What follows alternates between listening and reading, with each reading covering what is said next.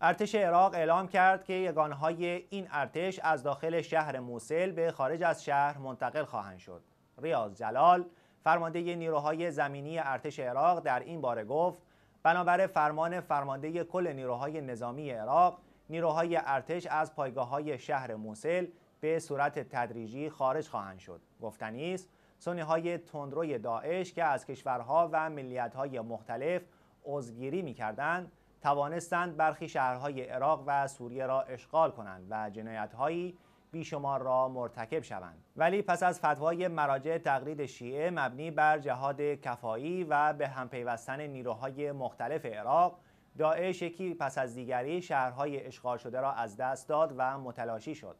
عناصر این گروه تروریستی همکنون در کوهها و صحراها زندگی می کنند و ارتش و نیروهای مردمی مدافع عتبات و مقدسات عراق الهشت و شعبی در پی پاکسازی کامل این کشور از لوس وجود آنها هستند.